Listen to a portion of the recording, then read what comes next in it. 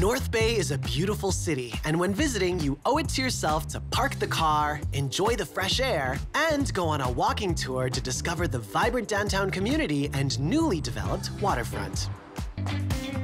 It's now the Capitol Center, North Bay's hub for the performing arts to support its growing community of actors, artists, musicians, and who knows, maybe the next James Cagney. North Bay has one of the most stunning waterfronts in Ontario. They put a ton of effort into revitalizing the space.